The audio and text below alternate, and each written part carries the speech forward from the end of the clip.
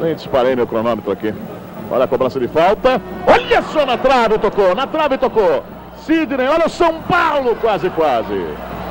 O São Paulo quase, quase a 2 minutos e 45 inaugura o marcador na Araraquara. Dá uma olhada só na repetição.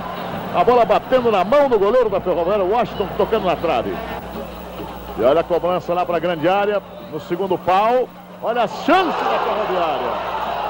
Foi a primeira real oportunidade do time da casa. Se era um país um pouquinho mais sério, não tinha jogo na televisão e perdas e danos. É o nosso gol lá, hein? É o nosso gol, é o nosso gol. E o Marcão deu uma trombada ali, amigo. Saiu todo mundo espirrando. Perigo pro São Paulo, hein? Gilmar. Ó o Pita, ó o Pita. Bateu bem! Espetacular defesa, espetacular defesa de Washington! Mas ele ficou tonto, ele ficou tonto. Olha só onde o Pita mandou essa bola.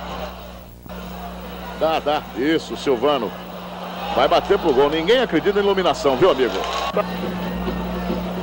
Lançamento espetacular, grande lance, Washington. Grande lance para o São Paulo. Sidney chegou, bateu para o gol. Passa à esquerda de Washington. Washington está colocado. A situação não está fácil para a Ferroviária. Olha a bomba. Washington.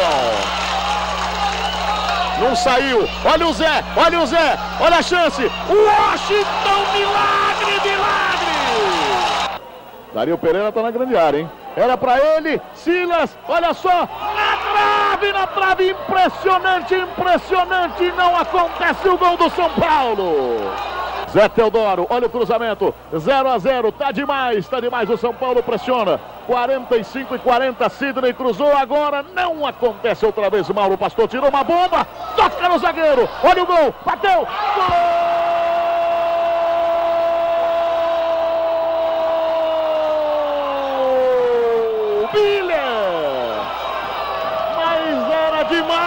Demais esse bate-rebate. Miller. Tim. Olha o gol milionário da Ferroviária. Vai embora. Nelsinho. Miller. Lançamento na ponta esquerda para Sidney. O Raí lá no comando pediu. É para ele só tocar, só tocar.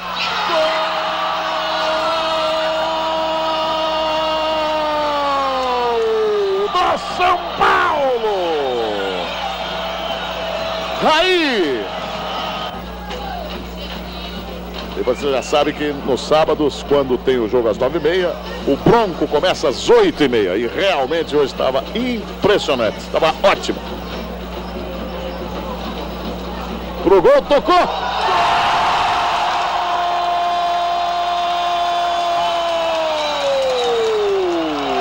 Quem chutou foi Silvano! mas a bola tocou na zaga do São Paulo no Adilson. Gilmar que estava indo quando voltou era tarde. Quando voltou era tarde.